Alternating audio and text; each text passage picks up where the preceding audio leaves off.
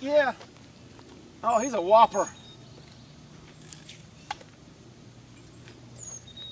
Oh, yeah. Joel, look at this. Golly.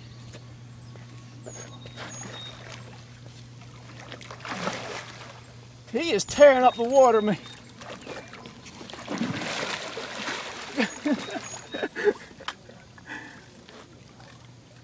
You thinking, holy crap!